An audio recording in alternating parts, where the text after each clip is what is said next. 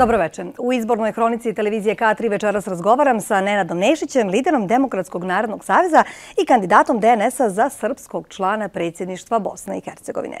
Gospodine Nešiću, dobro večer, dobrodošli u naš studio. Dobro večer i hvala na pozivu. Evo na samom početku nekako predizborna retorika, predizborni e, spotovi, nastupi, čini mi se, najviše su odjeknuli u javnosti. Neki bi možda rekli da ste imali najkreativniju kampanju od svih.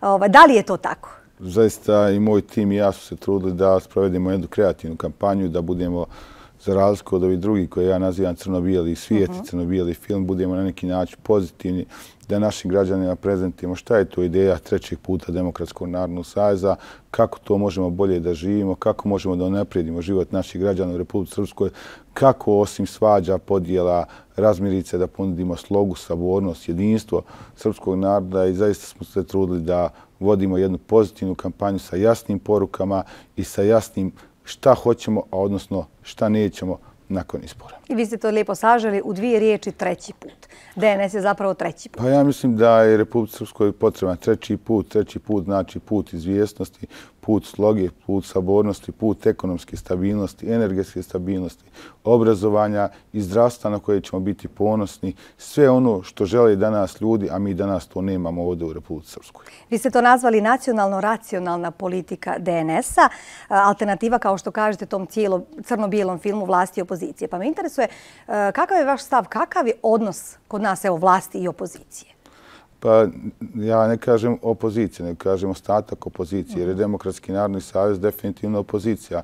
Možda u ovom trenutku i jedina prava opozicija u Republike Srpskoj, jer mi za razliku od SDS-a i PDP-a nemamo ni gradonačelnike, ni načelnike, nemamo lokalnu vlast, nemamo republičku vlast i mi zaista jesmo jedna prava opozicija. Razlike među nas i njih jeste što oni 30 godina od, od nastanka Republike Srpske, a zadnjih pogotovo 16 godina, ne nude ništa osim podijela, svađa, razmirica. Dok se oni svađaju, narod i Republika Srpska propada. Mogu ste da vidite da je prije 20 godina kandidat za člana predsjedništva bio gospodin Šarović, da je opet, znači 2002. bio kandidat, 2022. ponovo je gospodin Šarović. Ja ne vidim tu nikakvu promjenu osim nastavka onog stanja kako danas jeste, to je crno-bijelog svijeta SNSD-a, SDS-a i PDP-a.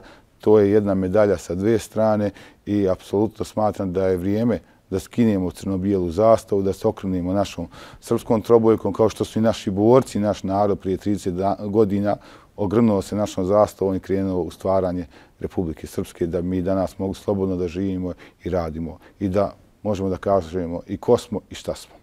A evo, neki možda kažu, čuli smo, vjerojatno ste čuli i vi, vjerujem, da je taj odnos vlasti i ostatka opozicije, kako ih vi nazivate, e, predstava za javnost. Pa evo, ako malo pažljivije pogledate, ja sam to često govorio, ali smatram da treba našem narodu to malo češće ponoviti da na neki način uđe e, i uši i u mhm. narod, jeste da je upravo gospodina Dodika na vlast doveo PDP. 2006. godine PDP, tadašnji predsjednik PDP-a, gospodin Ivanić, je smijenio uh, Peru Bukelovića, premijera SDS-a, uh, u martu mjesecu i doveo Milorada Dodika na vlast. Prvi ministar u toj vladi, odnosno ministar bez forfelja, je bio gospodin Branislav Borenović. I danas mi vidimo da je gospodin Borenović glavni zagovornik borbe protiv Milorada Dodike. Taj gospodin Borenović koji je odlučio da sebi omogući još četiri godine lagodnog života, uzeći prvi kompenzacijani mandat i on će i dalje biti parlamentarac na nivou BH, primaće mjesečnu platu preko 7000 konvertibilnih maraka. I zašto bi njima odgovaralo nešto drugo osim crno-bijelog svijeta?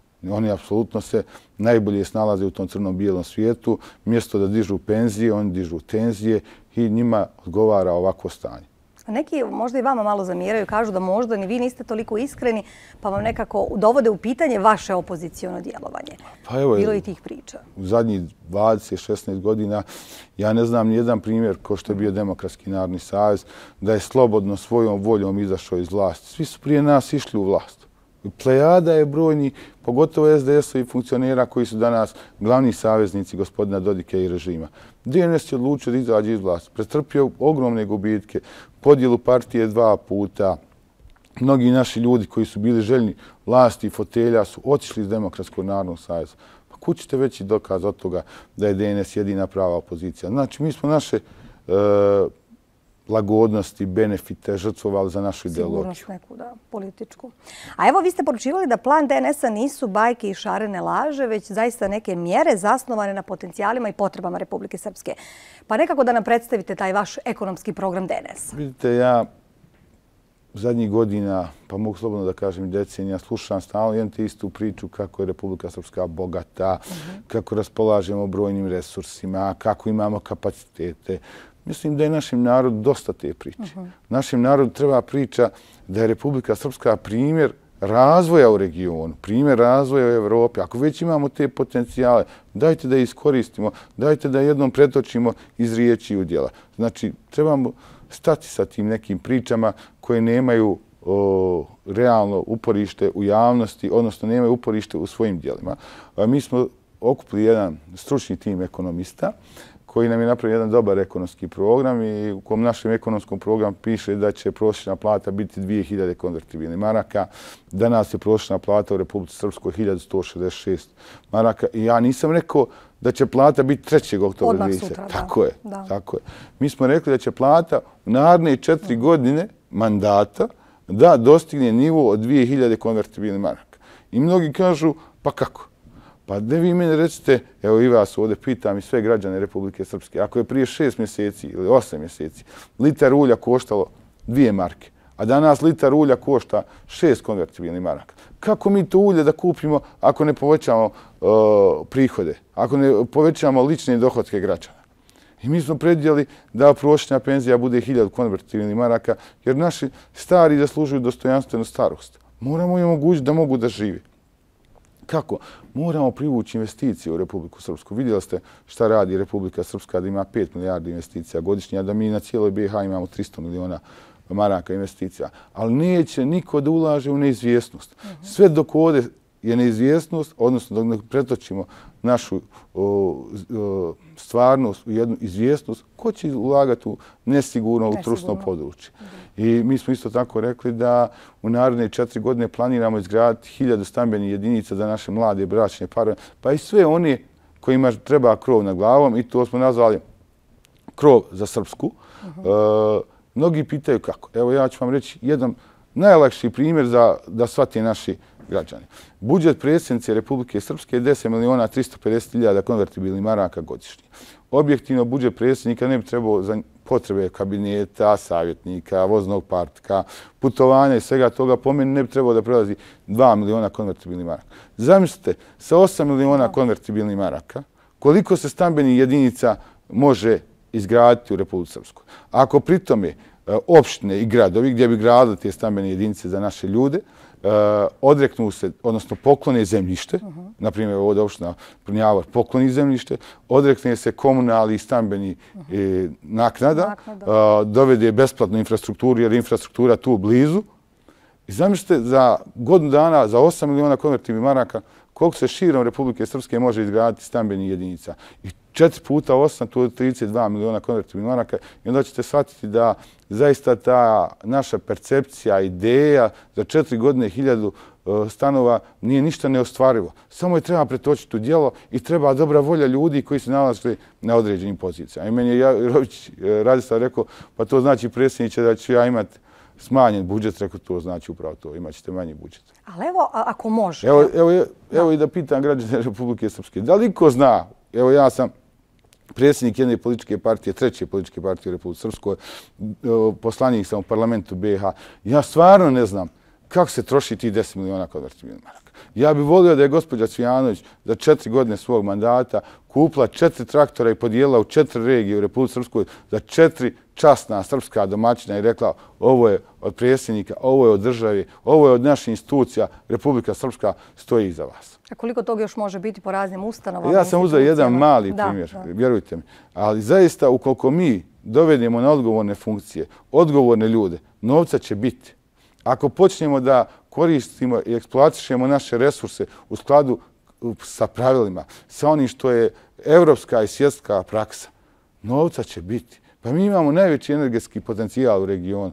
Mi ne trebamo da zarađujemo na našim građanima. Cijena struje treba da ostane niska za naše građane, a trebamo upravo da zarađujemo na izvozu električne energije. Ali ako može, evo imate matematiku. A može, kako ne može. A zašto onda nije do sada? Zašto nikome u interesu do sada, evo 30 godina nije bilo da se te stvari pokrenu i stave na zdrave osnove i evo da se ovako neke inicijative realizuju? Pa evo, ja, evo ja pričam najprostijim srpskim jezikom, narodskim jezikom, potpuno jasno i dajem konkretne ideje. Ni meni nije jasno šta je problem u našim ljudima, šta je problem ljudima na koji se nalazi na pozicijama. Zašto to ne uradi. Pa vidi da nas je svaki dan manji. Vidi da se radi depopulacija ovog prostora. Znači, ljudi odlazi.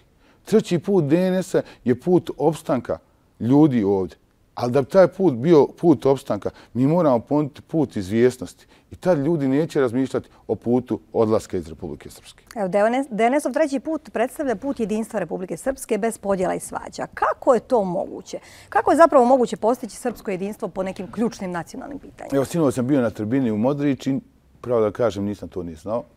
Izađe Radislav Jović i kaže, naš predsjednik kaže crno-bijeli svijet, a ja bi to nazvao crveno-bijeli svijet, pošto e, E, ja navijam za partizan. I ja to slušam. I nakon njega izađem ja i kažem, evo vidite, pitaju me kako postići jedinstvo. Evo, Radislav Jović je moj prvi saradnik i stvarno ekstra sarađujemo. Ja navijam za crvenu zvijezdu, on navija za partizan. Šta hoću da vam kažem? Jedinstvo, ukoliko smo ljudi, ukoliko smo imalo savjesti, ukoliko smo odgovorni prema građanima, prema zemlji i narodu kome pripadamo, je moguće postići. I ilustrovat ću vam jednim primjerom iz parlamenta BiH. Ja kad e, dole budem u parlamentu BiH, e, mene dođe tuga od srpskog nejedinstva. Da. Onda sa druge strane, poštovani građani, vidim jedinstvo bošnjačkih političara i nemam ništa protiv tog jedinstva. Ja njima zavidim na tom jedinstvu, ali ono što me boli, boli me kako su oni jedinstveni po pitanju kako treba da izgleda BiH, kako Republika Srpska ne treba da postoji. Oni imaju potpuni identičan stav, bez obzira da li dolazi iz SDA, SDP-a, NIPA ili ne znam koje već stranke u Federaciji BiH, njihov jedini cilj, zajednički cilj, jeste da Republika Srpska ne opstane u svojim granicama i svojim nadležnostima u okviru BiH. Oni žele centralizovanu, žele unitarnu BiH i to je njihova legitimna politička želja. Sa druge strane, e, e, srpski predstavnici su podijeljeni po svim pitanjima. Republika Srpska može ostati samo jedinstvom srpskih predstavnika na nivou zajedničkih institucija po pitanju nadležnosti Republike Srpske. Republika Srpska je iznad svakog interesa, iznad svake političke partije. I tu ne smiju da se dijelu, dijele srpski predstavnici na nivou BiH. Znači, e, ako bošnjaci mogu biti jedinstveni po pitanju načina djelovanja, funkcionisanja i viđenja BiH, i mi moramo biti jedinstveni po pitanju Republike Srpske. Nema prenosa nadležnosti. Nema ukidanja i otimanja imovine Republike Srpske. I ako svi u glas to kažemo, nema sile koja to nama može otiti. A pritom se pozivamo na Ustav BiH i na Dejtonski mirovni sporazum. Ne tražimo ništa više nego ono što piše u Dejtonu. I ne tražimo ništa manje nego ono što nam pripada prema Ustavu BiH. Ali tu dođu sitni interesi? I dođu sitni interesi, raznorazni E, fotelje i onda Srbi postanu nejedinstveni, grabeći svoj sitni lični interes, a gubije opšti interes, a nisu svjesni da jednog dana kad izgubi opšti interes, kad izgubimo Republiku Srpsku, da ćemo izgubiti taj naš mali, skromni lični interes. Ja sam za razliku od njih dole se trudio da uvijek predstavljam Republiku Srpsku, branio sam srpski narod, ali isto tako sam se uvijek trudio da pružim ruku dijaloga, da pružim ruku razgovora, dogovora, da ukažem, ma mi hoćemo s vama da radimo, hoćemo da ekonomski budemo stabilni, hoćemo s vama da idemo u Evropsku uniju, ali isto tako hoćemo otvoreni balkon. Da. I, znači, Srbi moraju biti upravo ono malo pre što ste pročitali. Nacionalno, racionalno. Znači, nacionalno, mi ne damo Republiku Srpsku, nama je Republika Srpska crvena linija ispod koje ne možemo da idemo. Naše nadležnosti institucije su za nas sveto pismo, ali isto tako hoćemo da se dogovaramo i razgovaramo kako da e, životni standard svih građana BiH podignemo na viši nivo. A čujem mnogi... Čak sam se na mnogim predizbornim skupovima i javno ovde e, zakleo svim našim građanima Republike Srpske, srpskom narodu, da nikad, kao srpski član predsjedništva, nijednu nadležnost sa, nivou, sa nivoa Republike Srpske na nivou BiH neću prenijeti. Ali isto tako, ne očekujte od mene da ću izazvati bilo kakvu krizu na nivou BiH. Spreman sam danonoćno da pričam. Iako znam da su tu pregovori, dogovori, unaprijed osuđeni na propast i neuspjeh. Ali vidite šta radi predsjednik Srbije Aleksandar Vučić kad je u pitanju Kosova i Metohija. On bezgranično razgovara, dogovara, pokušavajući naći najbolji moguće rješenje za srpski narod i Srbiju. E ko, ko od nas može da se odrekne dogovora, razgovora, dijaloga? Kakva, zašto nam je važna evo, saradnja sa Srbijom, kad ste već Srbiju pomenuli? Koliko nam je važna dobra saradnja sa Srbijom i naše veze? Imamo mi većeg prijatelja, saveznika, brata, majku, majku od Republike Srbije. Ja mislim da nema porodice u Srpskoj, da nema brata ili sestru u Srbiji. Zaista, odvojiti Srbiju od Republike Srpske ili Republiku Srpsku od Srbije nije prirodno. Mi smo jedno tkivo. Možda imamo neke administrativne granice koje spomeni vještačke, ali Republika Srbija i Republika Srpska je jedno tkivo, jedan narod, iste želje, isti snovi, iste nade, isti strahovi, ista sudbina, ista istorija, ista vjerovatno i budućnost i prošlost. Evo da se vratimo možda na izbore. U najvećoj izbornoj jedinici Banja Lučkoj direktno se bira 12 narodnih poslanika. Prije osam godina DNS je osvojio jedan mandat, prije četiri godine dva mandata. Šta očekujete evo sada ove godine? Ono što mogu da kažem jeste da DNS sigurno u ovim izborima 2022. godine za pet dana ima sigurno jedan mandat u Banja Lučkoj regiji. E, mi bi volili da imamo dva mandata, ali sa obzirom na podjele, na sve ono što nam se desilo u zadnje dve mhm. godine, ja mislim da taj jedan mandat je siguran. Da li ćemo uspjeti doći do dva mandata, to je do građana i do naših aktivista na terenu. Mislim da ja ću lično biti zadovoljna s jednim mandatom, ali se nikad neću odreći ambicije da može bolje i da možemo probati da osvojimo i ta dva mandata. A kakav rezultat očekujete u drugim izbornim jedinicama? Ja očekujem da u svim izbornim jedinicama imamo direktan mandat za Narodnu skupštinu Republike Srpske. U okviru Republike Srpske očekujem da imamo deset mandata za Narodnu skupštinu Republike Srpske i dva mandata za parlament BH. Radislav Jovičić, vaš kandidat za predsjednika Republike Srpske, Vidite, e, kad smo odlučili da kandidujemo Radislava Jovića, prije svega smo vodili računa o ličnosti koju kandidujemo. Šta je to Radislav Jović? Ako mi dozvolite, ja bi ukratko sažeo to što jeste Radislav Jović. Radislav Jović je čovjek koji je sa 19 godina uzeo pušku u ruku i otišao na ratište. Bio cijeli rat u rovu, na terijenu, bio komadant uh, specijalnih jedinica, četiri puta ranjavan. Znači, uložio je krv i dijelo je sebe u temelje Republike Srpske. On je danas profesor e, na fakultetu Doboju, profesor na fakultetu Banja Luci, jedina nestranačka ličnost koja je bila ministar unutrašnjih poslova. Znači, gospodin Jovićić, kad je bio ministar unutrašnjih poslova, nije bio... Nije bio član stranke. Tako je. Mhm. E, jedina politička partija, moj demokratski narodni sajez, prije nije bio ni u kakvoj drugoj političkoj partiji, nije došao iz neke druge političke partije. Znači, njegovo opredeljenje bilo isključivo demokratski narodni savez. E, čovjek koji može najbolje da razumije možda u ovom trenutku i najugroženiju populaciju Republike Srpskoj, a to su naši borci. Mi u posljednjih godina, mjeseci slušamo kako su borci nezadovoljni, kako borci nemaju dostojanstven život. I to jeste tako. Ne trebamo se lagati. Ipak ti ljudi su iznijeli teret e, ovog dana što imamo, a to je Republika Srpska. I onda smo se rukovodili da upravo te borce, upravo sve te građane e, može upravo da razumije jedan takav čovjek, mhm. jednog takvog formata kao što je gospodin Radislav Jovićić. I ja sam ovdje kod vas, kod vaše kolege Novakovića, mhm. iznio jednu tezu, ideju koju zaista želim da pretočim u u realnost, odnosno da je ostvarim, jeste da u buduće vlade, ukoliko DNS bude dio buduće vlade i učestvo u formiranju buduće vlade, te ukoliko nama pripadne ministarstvo za boračka pitanja, moj stav kao predsjednika DNS-a će biti da upravo boračkim organizacijama ponudimo da oni predlože čovjeka koji će i predstavljati i biti ministar za boračka pitanja u vladi Republike Srpske, jer smatram da treba ukinuti posrednike između boraca i vlade, odnosno da borci budu adekvatno u skladu sa svojim zaslugama i sve ono što su radili i učinili da mi danas budemo to što jesmo, budu predstavljeni u vlade Republike Srpske i da se čuje njihov glas i mislim da bi na taj način riješili brojne probleme i sami boraca i boračke populacije. A boračkih organizacija, nažalost, ima mnogo, mnogo, nikako ni oni da se nekako sami sa sobom kao srpski član predsjedništva i gospodin Jović kao predsjednik Republike bi sazvali sve boračke organizacije, uh -huh. Pokušali napraviti jednu krovnu boračku organizaciju da uspijemo, ali prije svega pokušali bi da isključimo politiku iz boračke organizacije, jer gdje god dođe politika, tu dođe do podijela, je li tako? Tako je.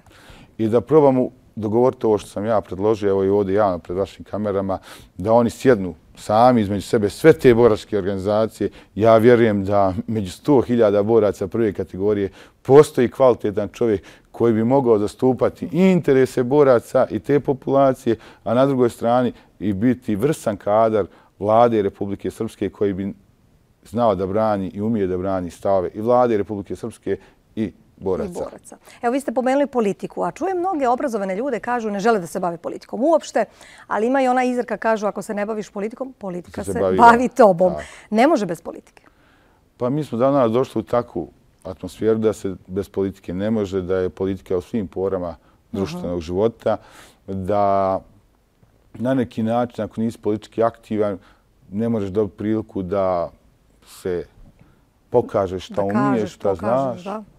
I mislim da je velika šteta što ljudi neki bježe od politike. Evo ja i pozivam mnogi ljude koji sjede ispred TV ekrana, koji kritikuju, ništa ne valja, da se pokrenu, da izađu iz svojih udobnih fotelja, ispred tastatura, ispred svi smo nekako jaki na društvenim mrežama. I svega toga, izađu da te mhm. svoje e, stave Pogotovo danas kada je slobodno, možeš reći svako svoj stav, izađeš slobodno, kažeš svoj stav, zalažeš se da tvoj stav se čuje, zalažeš da se tvoje ideje pretoče u dijela. Zaista, e, jedan od razloga zašto sam se i ja krenuo u politiku je bio taj. Dodijelo mi više da sjedim i da govorim ovo ne valja, ja bi ovako uradio. Odlučio sam da se pokrenem i da dam svoj doprinos razvoju Republike Srpske. Evo još par dana je ove kampanje, još malo u samom svom finišu. Ja znam da ste cijelu državu obišli.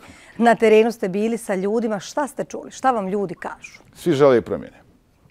Svi žele ono što danas nijamo. To je normalnost, to je dogovor, to je dijalog, to je raskur. Svi žele saradnju sa Evropom i sa regionom. Svi žele borbu, mhm. ali ne protiv komšija, nego za otvoreni Balkan. Svi žele ekonomsku stabilnost, energetsku stabilnost. I tu nema ništa sporno u, u našim željama. Ali da bi se te želje ostvarile, moramo da promijenimo ljude koji vladaju 30 godina, stalno jedni te isti. Da li je u pitanju gospodin Dodik ili gospodin Šarović? Ja od kako znam za sebe, znam za gospodina Šarovića, Ivanjića, Milorada Dodika. Pa mislim da je vrijeme da im se zahvalimo, da ih pošaljimo u penziju, da dođu neki novi ljudi. Pa ti novi ljudi će donijeti neku novu energiju. Jer ja smatram zaista, evo, vraći se i na, na gospodina Šarovića, da mi ne zamirite. Bio je gradonačelnik Istočnog Sarajeva, bio podpredsjednik Republike Srpske, bio predsjednik Republike Srpske, bio srpski član predsjedništva. Sedam godina u kontinuitetu bio ministar spoljnih trgovine i ekonomski odnosa. Pa vrijeme je. Sad je četiri godine parlamentarac. Za dan penzije uzeo 30.000 konvertibilnih maraka od premninije, poslije dana prekinuo penziju, vratio su stalni radni odnos. I kakva je to promjena? Zaista smatram da je vrijeme da s takvim ljudima zahvalim. I zbog takvi ljudi, ljudi ne vjeruju u opoziciju. Sa jedne strane imamo bahatu i korumpiranu vlast e, koju predstavlja gospodin Dodik, a sa druge strane imamo bezidejnu, e, nesposobnu, mogu slobodno da kažem, nesposobnu ostatak opozicije koju predstavlja gospodin Šarović. Pa evo, kad sam sve te njegove funkcije nabraju, Po čemu je razlika između njega i Milorada Dodika? Da, rekli ste pre neki dan nije promjena koju sad pominjete sjaš kurta da uzjaš i pa upravo sam na to mislio. Da. Znači, ako je promjena Šarović umjesto Dodika i Dodik umjesto Šarovića, pa onda zaista pitan si ja često da li se vrijedi boriti. Mnogi politički analitičari kažu uh, izlaznost kada je u pitanju ovaj, na izborima. Veća izlaznost znači promjenu. Uh, da li se, biste se složili s tim i kakvu izlaznost očekujete? Pa ja očekujem izlaznost na nivou i prošle izbora. Mhm. Ne očekujem ja tu neke velike oscilacije. Ali treba, čini mi se, malo veća izlaznost da bi se desila neka promjena, tako kažu nekako, neki stručni. Nekako ušla apatija u narod. Da. Ne znam da li vi to primjećujete. Ja, ja odeći po terenu nekako ne osjetim tu neku energiju, nekako. Nekako se narod, uh, kako bih rekao... Skupio u svoje. I prihvatio da će se i piti isto. Može i gore. Ja, može i gore. Može i gore, uvijek znači, može gore da li je neko nepovjerenje prema nama političarima, da li mi ne znamo da iznesemo neke stvari. Ja vam pričam otvoreno, ja sam čovjek od naroda, ja sam dijete Republike Srpske.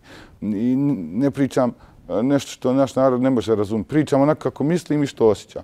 E, ja ono što mislim jeste, možda nisam upravo, ja volim da bude izlaznost što veća, to će dati veći legitimitet izabranim predstavnicima. E, mislim da će izlaznost biti na nivou izlaznosti 2018. godine, moramo uzeti u obzir veliki broj odliva stanovništva, mhm. što će značajno smanjiti e, i broj glasova. E, također, znate da je bilo veoma komplikovano se prijaviti u inostranstvu za mhm. glasanje, da je tražilo su dodatni dokumenti. To će sve utjecati na to da izlaznost vjerovatno neće biti velika. Ali kolika god, bitno je da u svijesti građana dođe ideja da je vrijeme za promjene razočarani glasači i neglasači. Evo šta biste njima poručili pred kraj emisije da iskoriste svoje demokratsko pravo, da izađu. Ja bih nekako vratila onaj sistem Skandinavije, ne znam da li znate kad je obavezno glasanje. I malte ne 99% građana izađe na izbore, ovih 1% ima Nijem ništa protiv obaveznog glasanja, nijem ništa protiv skenera, transparentnosti, čak naproti to sve potržavam. Pa evo, sve te razočarane e, glasači koji ne izlaze i neglasači, i neglasači ja pozivam da ovaj put izađu. Mhm jer oni upravo doprinose svojim neizlaskom da bude stanje ovako kako jeste. I već kad ste razočarani, već kad ne izlazite, hajmo 2. oktobra promijeniti, izaći i glasati za treći put Demokratskog narodnog savjeza, koji znači normalnost, dogovor, dijalog, koji znači ekonomska stabilnost, energetska stabilnost, koji znači borba za otvoreni Balkan, koji znači jaka Republika Srpska. Nama trebaju jaki ljudi i u predsjedništvu BiH, i na čelu Republike Srpske, i u Narodnoj skupštini Republike Srpske, i u parlamentu BiH, koji će imati osjećaj prvo za narod i za potrebe naroda. Evo emisiju nekako da završimo konstatacijom da smo zemlja, kao što ste rekli, i prirodnih bogatstava i vrijednih ljudi. Potrebna je ta politička volja, potreban je dobar plan, a DNS, evo kako ste rekli, ima i jedno i drugo vi ste malo sada rekli, mi smo zemlja vrijedni ljudi i prirodni resurs, a ja sam na početku emisije rekao da ja ne želim više da slušam tu priču. Mhm. Ja želim da slušam priču da smo mi zemlja uh, u razvoju, razvijena i primjer i regionu i Evropi. Da smo zemlja uspješni ljudi koji su uspjeli da se izgrade i da na neki način dođu na pozicije za koje zaslužuju svojim znanjem i svojim umijećem. Znači da to sve što imamo, pretočimo tako je, u dijela. Imamo sve potencijale da budemo najbolji. Pa ajmo da budemo najbolji. Gospodine Nešiću, zaista hvala vam za ovo gostovanje. Hvala vam što ste izdvoli svoje vrijeme i želim vam svu sreću kao i svim kandidatima na ovim izborima. I bit će prilike, vjerujem, nekako posle izbora da ponovo sjednemo pa da vidimo ovaj, kakvo je stanje. Vidjet ćemo da li su naši građani prepoznali Demokratski narodni savjez i naš treći put. Hvala i vama, dragi gledalci. Naravno, ostanite dalje uz program televizije Katrin.